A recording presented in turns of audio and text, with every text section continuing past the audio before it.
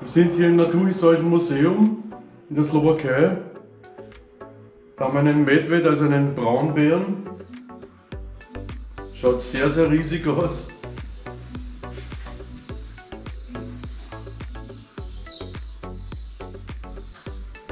Da gibt es jede Menge Knochen. Die kleineren Knochen, keine Ahnung, aber das schaut man eher nach einem Wolf oder sonstiges aus. Ein Bär hat einen größeren Kopf. Aber na, doch, doch vom Braunbären. Doch ein Braunbär, da steht Braunbär. Also doch von Braunbären.